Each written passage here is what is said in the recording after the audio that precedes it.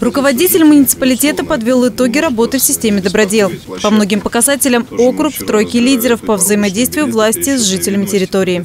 Если брать категории, то в тройке мы пожалуем на состояние детских и спортивных площадок, состояние фасадов, благоустройство дворов и э, незаконная э, реклама. Звенигород у нас также в тройке по жалобам в категориях ямы во дворах, состояние детских спортивных площадок и благоустройство дворовых территорий.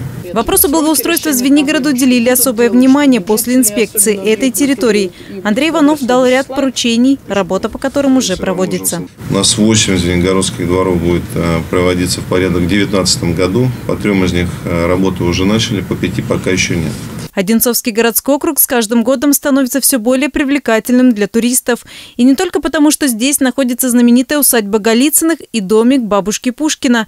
Территория динамично развивается, проводятся фестивали, участие в которых принимают не только жители муниципалитета. Мария Шматкова, Станислав Трифонов, телекомпания «Одинцова».